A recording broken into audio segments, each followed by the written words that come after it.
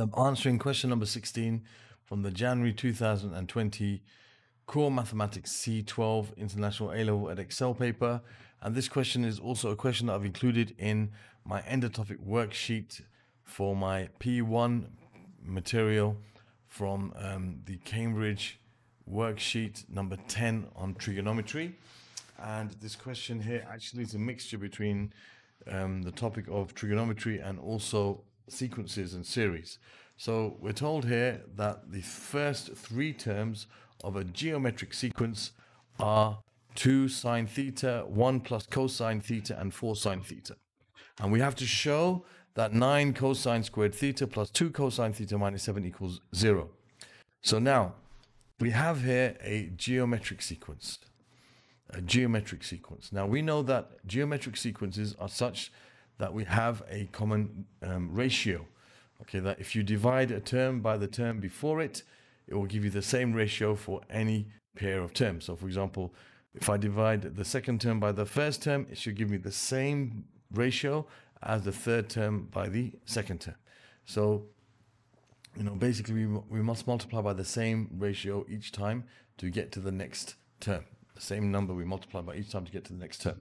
So we can easily set up here a little equation for us to be able to form this equation that they're asked. We can say that the third term divided by the second term, so 4 sine theta divided by 1 plus cosine theta is going to give me exactly the same ratio as the second term divided by the first term. So 1 plus cosine theta divided by 2 sine theta. And you see both of those are equal to the common ratio. Okay, so therefore we can say, if we cross multiply, that 4 sine theta times 2 sine theta, which is 8 sine squared theta, is equal to 1 plus cosine theta, cosine theta, the whole of that squared. So this gives us 8 sine squared theta equals, now when you square this bracket, you're going to square the first term, you're going to multiply these two terms together and then double that. So you have 2 times cosine theta, and then you're going to square the last terms, you're going to get cosine squared theta. Now, if I look at what I have to show, what we have to show, as we can see, only contains terms with cosine squared theta and cosine theta. There's no sine theta, no sine squared thetas in that, right? So what I want to do is I want to keep all of these in terms of cosine theta.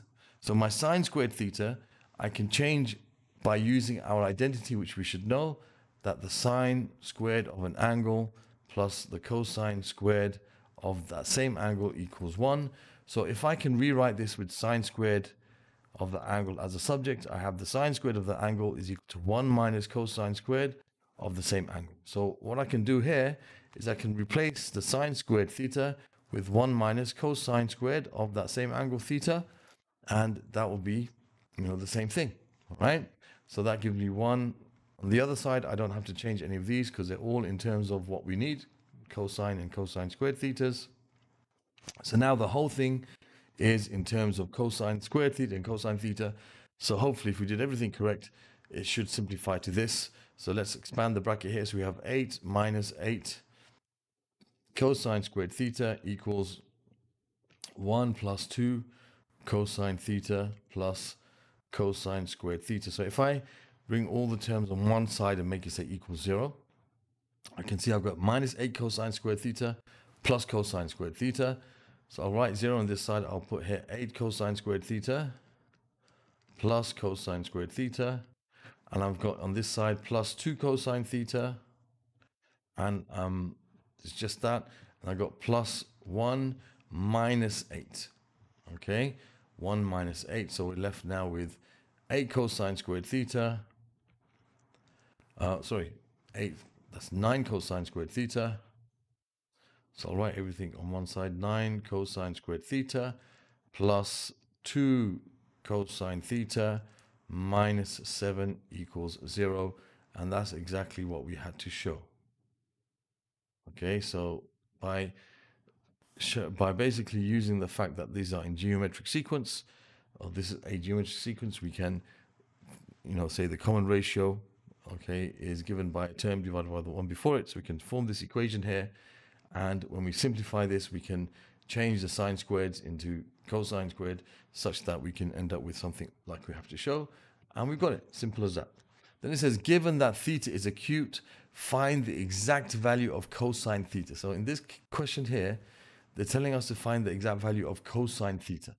All right, they're not telling us to actually find the angle itself, just the cosine of the angle, and they told us it's an acute angle. All right, so we have to first, of course, solve this equation to find the values of cosine theta. So we start with our equation, which even if we couldn't form it, we can use what they gave us. 9 cosine square theta plus 2 cosine theta minus 7 equals 0. Now to solve this equation, um, to make things look familiar, what we could do is we could say let x equals cosine theta.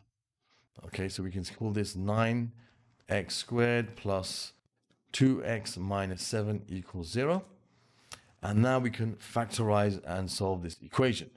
Now we can factorize by splitting up the middle term by just using, you know, kind of like trial and error and trying to figure out what the, the, the, the values are. I personally like to use this, this method of splitting the middle term, which is, some people call it the window method. Okay, so I take the top left corner to be, I write the 9x squared, I write the first and the last term, squared and the constant, 9x squared and minus 7. Then I think, to, then I basically multiply these two together, that gives me minus 63 x squared. So I need to find a product of two numbers that will go here. The two numbers must multiply to give me negative 63x squared, the same as that product. But the sum of those two numbers must be plus 2x. Okay, so if we think about the numbers that gives us 63 and difference of 2, well, it's, it's actually 9 and 7, the same as these two. So that would work. So I can put here, for example, um, it would be positive 9x and minus 7x. That's going to give me a product of um, negative 63x squared and a difference of 2. So that's that's quite easy there. So the common factor of these two terms I'm going to write up here, which is going to be just x. Okay, the common factor of as 9x, sorry. Common factor of these two, let me just uh, fix that. Okay, it's 9x. It's common of these two. 9x times x is 9x squared. 9x times plus 1 is 9x. And x times minus 7 is minus 7x. So this becomes 9x minus 7 times x plus 1 equals 0. So from this, you say x equals negative 7 over 9 and x equals negative 1. Remember, we said let x equals cosine theta. That means cosine theta is equal to negative 7 over 9 and um, cosine theta is equal to 1. Okay, so, sorry, what am I talking about here? That's a mistake there. Sorry about that. That means 9x equals 7, which in case, in that case, x equals 7 over 9, and x plus 1 equals 0, in which case x equals negative 1. Sorry, just had a brain freeze there. So we have cosine, therefore cosine theta equals 7 over 9, or cosine theta equals negative 1. Now, we are told that theta is acute. Okay, now the ratio, the, the, the value of the ratio of a, an acute angle for sine, cosine, and tangent will be all will be positive if it's an acute angle, because all acute angles will be in this first quadrant. Okay, so the cosine of all three ratios are positive here. All right, so this won't be an acute angle. If cosine theta equals negative one, it's not going to be acute angle. Right? It's going to be basically negative 270. Okay, if you think about the cosine curve, it goes like this. So negative 180, not 270, negative 180. Okay, so it's going to be over here, it's going to be minus 1. Right, so that's not an acute angle. Acute angles, the ratio is always positive. Okay, so for sure, if um, if theta is an acute angle, the cosine of theta will give us a positive value. So we know therefore cosine theta must equals 7 over 9. Okay, all right, cosine theta is equal to 7 over 9. It's positive in the first quadrant. Q angles will have a positive value for the cosine, sine, and tan in the first quadrant. Okay, so that's the answer to part B. So there's part A and part B done. And now for part C. So it says, hence find in its simplest form the exact value of the first term of the sequence and the common ratio of the sequence. Okay, so we know that cosine theta is equal to 7 over 9. All right, so we need to find the first term of the sequence, which is 2 sine theta. So the first term of the sequence is 2 sine theta. Now, if we know what cosine theta is, we can find what sine theta is in two different ways. Okay, and I'll show you both ways. All right, so what we could do, one of the things we could do is we could draw a right angle triangle. Okay, this is one way of doing it. And as it's as it's in the first quadrant, I'll draw it like this. So this is in the first quadrant. Okay, so I'll draw it like this just to. So I'm drawing the, the right angle triangle in the first quadrant. This is theta. Okay, this is a right angle. The cosine of theta is the adjacent over the hypotenuse. And therefore, this is going to be our um, opposite side. Okay, so let me just call this y. All right, we can say that the you know that the value of y is going to be the square root of the square of the hypotenuse minus the square of the shorter side. So y is equal to the square root of 81 minus 49. So we have 81 minus 49. Okay, so that's the square root of 32. Okay, which is 4 root 2. That's the square root of 32, which is equal to 4 root 2. So this side is equal to 4 root 2. So we can say that sine theta, so A is, sorry, A is 2 sine theta. So therefore sine theta is going to be opposite over hypotenuse, which is 4 root 2 over 9. Therefore, we can say 2 sine theta is going to be 2 times 4 root 2 over 9, which is 8 root 2 over 9. And it's going to be positive, of course, because it's in, in the first quadrant. So we can say, therefore, the first term is 8 root 2 over 9. And then it says to find the common ratio of the sequence. So we know that the common ratio is, um, you can say 4 sine theta divided by 1 plus cosine theta. Or we can even use 1 plus cosine theta over 2 sine theta. It doesn't matter which way you use, which one you use.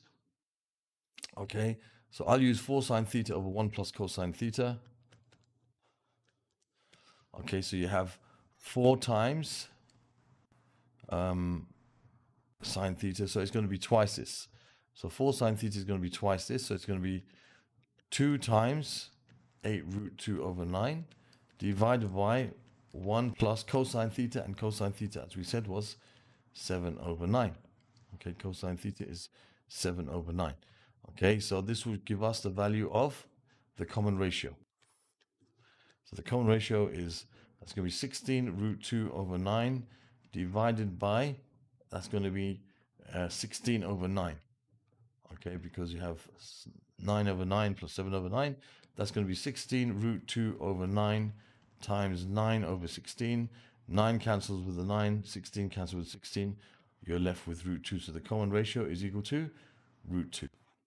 Okay, so we found the first term and we found the common ratio.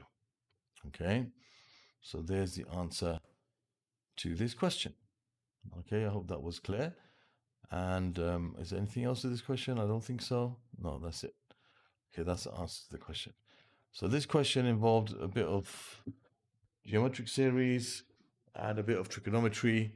Uh, I mentioned there's another way to find the value of um, sine theta, if we know cosine theta, and that's basically using the identity sine squared theta plus cosine squared theta equals 1.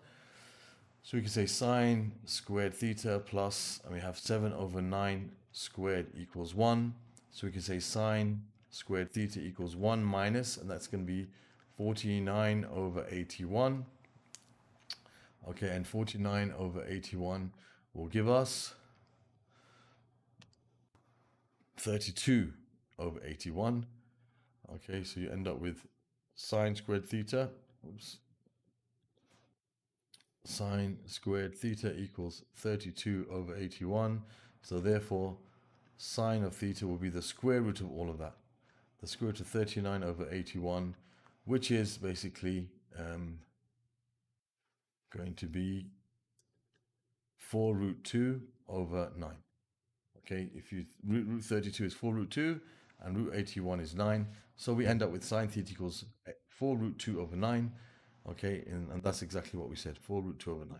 So you can use the identity or you can use the triangle to find the value of sine theta or cosine theta, whatever you need. In this case, we only needed sine theta, and we know it's positive because it's in the first quadrant. Okay, so that completes this question. Um, I hope that was clear. Other questions from this particular paper can be found in the playlist that will appear in this region over here. Other questions from um, this worksheet, endotopic worksheet number 10 from my Cambridge collection can be found in the playlist over here. Other questions from trigonometry in general, from from Edexcel uh, papers can be found over here, and from Cambridge papers can be found over there. Um, if you would like to watch other videos um, about, you know, from um, other syllabi or GCSE or whatever, you can see what I have by watching the video that will um, be linked on the top of the page over here. The card takes you to videos showing you how to navigate my channel um, to find what you want efficiently. Thank you for watching and see you soon.